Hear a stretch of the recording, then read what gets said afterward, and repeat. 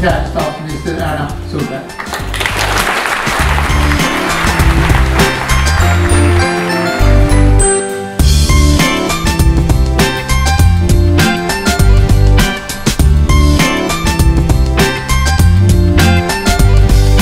Da skal jeg henvende meg til min gode venn Kåre Norum, tidligere professor, nå professor emeritus, tidligere rektor på Universitetet i Oslo. Æresmedlem i Oslo Cancer Cluster. Kåre Norum Auditorie.